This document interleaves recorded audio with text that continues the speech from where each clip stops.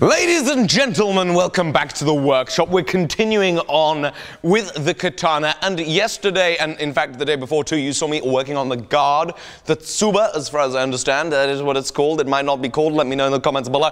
And on today's episode, we're going to be working on a spacer. But before we get on to that, you remember yesterday, so we could fill up some content and make yesterday's episode even better, because we repeated the same thing that we did the day before. We made a kiridashi out of the same wrought iron that we used for the guard, and out of one of the same billets of Damascus that made up the stars and the special pattern that's running down the, the middle of the sword, we're going to go into the grinding room and we're going to start grinding on that Kiridashi. Thanks for joining me.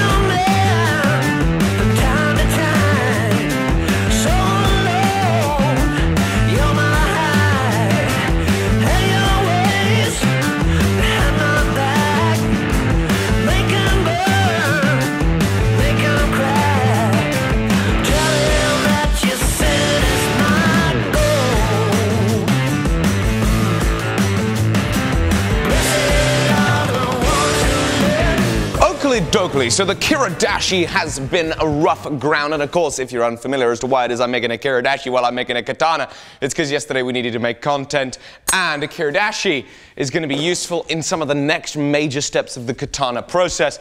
We need to heat treat this bad boy. We can do it with the torch. This is how it's looking right now. It's at 120 grit all over.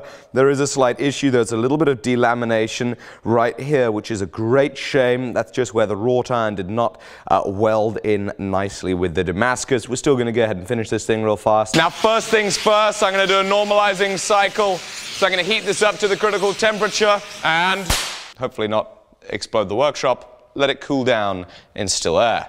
Okay, so now we've done a total of three normalizing cycles. We're slowly bringing this up to temperature for our final quench. And uh, we're going to do something interesting with our quench and our temper. You've seen me do it before. Okay, we're up to temperature. Into the oil we go, but I'm not to cool off the whole piece.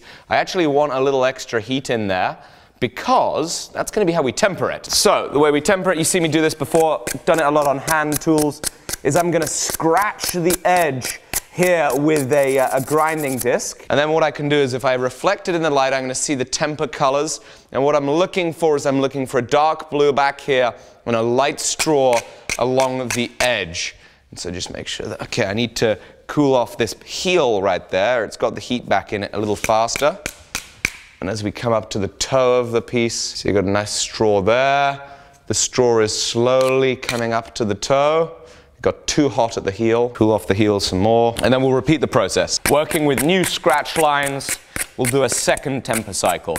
Okay, and there we go. Got straw at the tip. I'll cool off the whole thing, give it a wipe, and then now in regards to what we're going to do on the seppa, which is a copper spacer, I'm not entirely sure. I want to wait until I've started working on the actual handle itself. So, I've taken this piece of copper, put some blue Dykem on it, scribed some lines, and made a center punch mark where I need a 5mm hole. All I'm going to do here is make sure that I got a good fit up with the tang, and then the final shaping can be done when the handle is there so we can kind of see where we want this.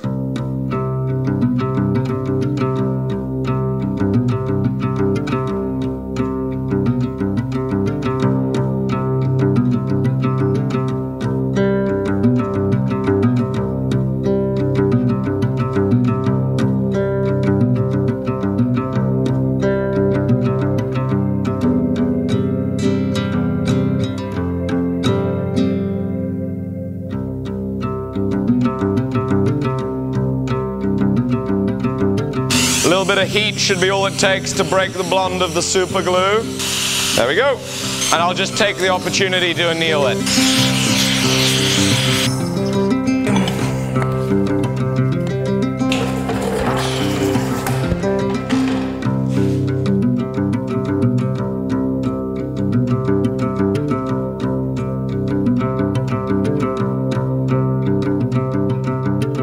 Copper spacer fits up there rather nicely. And of course now, time to continue working on this little Kiridashi so we can make the handle.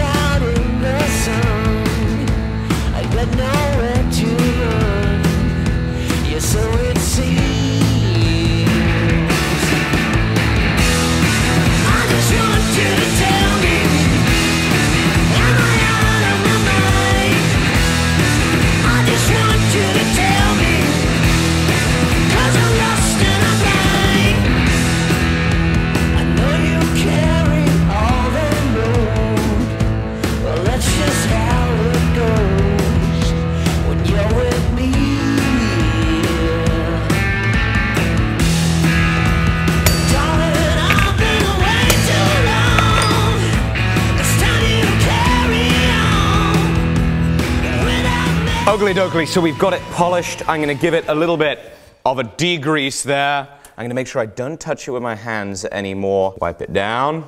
And so obviously this is wrought iron and Damascus steel. And over the last few episodes, you've heard me talk just a little bit about some of the interesting features of wrought iron. So one of these fabulous features, of course, is the grain-like texture that it has, similar to Damascus steel, not so contrasty um, than the steels that we use for our Damascus, but it's going to look a little like a, a wood grain, or at least I hope it does. Otherwise, this preamble would have been useless. But because we have a Damascus edge, there's going to be Damascus on the edge, wrought iron on the tang of the Kiridashi. Should we have a look?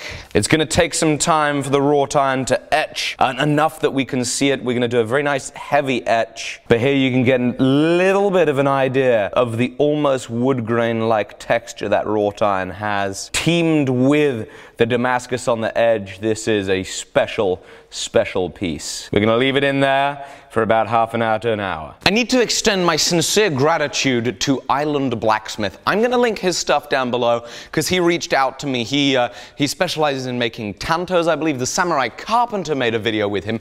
He reached out and gave me some unbelievable resources to look at that he's got on his website regarding traditional Japanese constructions. And holy moly, holy moly, macaroli. It has been so insightful to learn and get a little bit of an inkling as to how it is that he makes the handles, because the next step is going to be making the handle. Now, our tang. It's very difficult to make YouTube videos with pens that don't work. Our tang obviously is very long, and in ways that I've made handles before is I'll use a milling cutter and a drill bit and a file and chisels and work it out of a piece, but that's for a handle that's like four or five inches long. This tang here, it's enormous. How do we get a hole in there? Well, the Japanese way of doing it, as far as I understand, thank you, Island Blacksmith, is we take a block of wood that is the block of wood that needs a hole in it to be shaped for the handle. We cut down the center of the wood. We plane the two faces so they're perfectly flat and will sit back together. We open up the two pieces and we carve out the shape of the tang in both halves. The two pieces get glued back together, the handle gets shaped, and it fits perfectly to the tang. This is the same way they make the scabbard of a katana. Insert Japanese word for that. It's just obviously that's on a much larger scale, so there's going to be a lot of chiseling required for this, and of course that is why we're making the kiridashi because we need a kiridashi for it, despite the fact that I've already got a kiridashi, but I needed YouTube content, really. Okay, okay, okay. So I left the kiridashi in the acid for 14 hours or so, if not a little bit longer. The wrought iron etched away like you wouldn't believe, and it looked pretty terrible. I did not know whether I was going to be able to salvage this. I went to the grinder, I took some 240 grit, I worked on the edges, I went to my buffing wheels, and I, and I worked a little bit on that, smoothed it off to see if I couldn't, you know, if I could get it to the point where I wouldn't cut myself. I sharpened it again. You gotta check this out.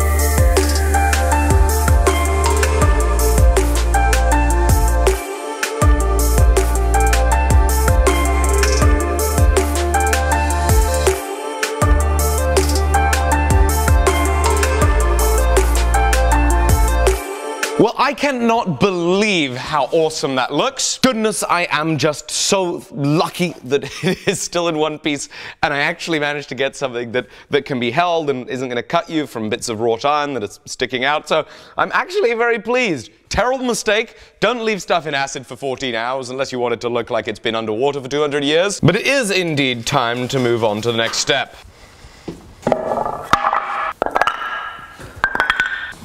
And now it is time for the handle. I've got a selection of woods here. I've got oak, I've got rosewood, olive wood, or ebony. The problem with ebony is it's a very brittle wood, so I don't think it's going to work too well for this handle construction. It would probably, however, be lovely to carve, because we've got a lot of carving coming up. It's a tough one. This is the stingray leather that I have, and one little issue with this is it's a little bit small indeed, um, so I can't wrap it all the way around. However, I was watching a Japanese sword documentary that somebody kindly sent me a link to, and I saw them inset it into the handle. I tell you what, stingray leather is an extremely interesting material. Firstly, the, the hide itself looks just like you'd expect. It even has eye holes. What's very interesting is the texture of this. It's almost like it's a little beads. It's a fascinating material. And even with all those fancy woods that we've got down there, here is a piece of oak, and I dare say I'm tempted to use a very, very simple material. Use the oak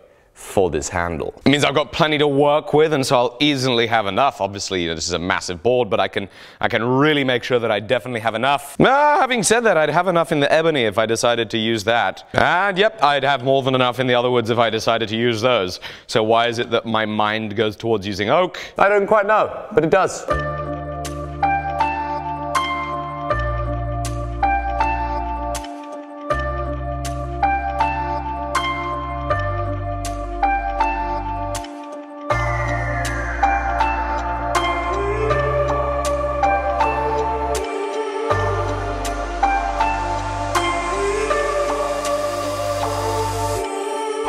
So we are here at my father's woodwork shop, which is uh, which is very exciting. I grew up in here learning how to use a draw knife and such forth, and so uh, it's uh, it's good to do a little bit of work here because he's got tools that I don't have. Better to do with some uh, woodwork in the woodwork shop.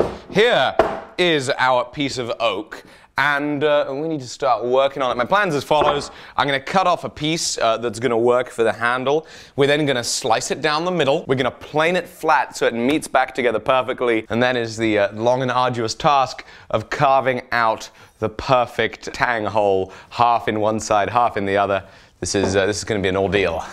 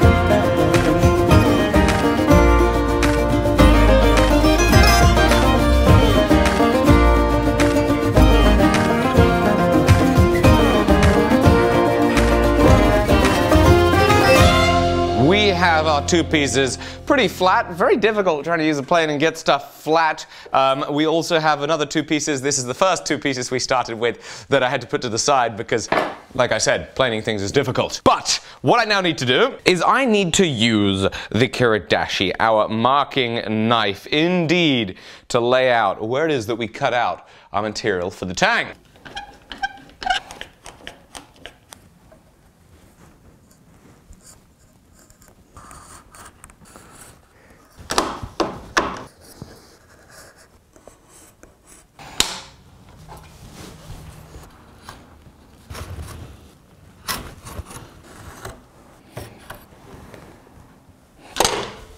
Ugly dougly. So now I've got a lot of carving to do.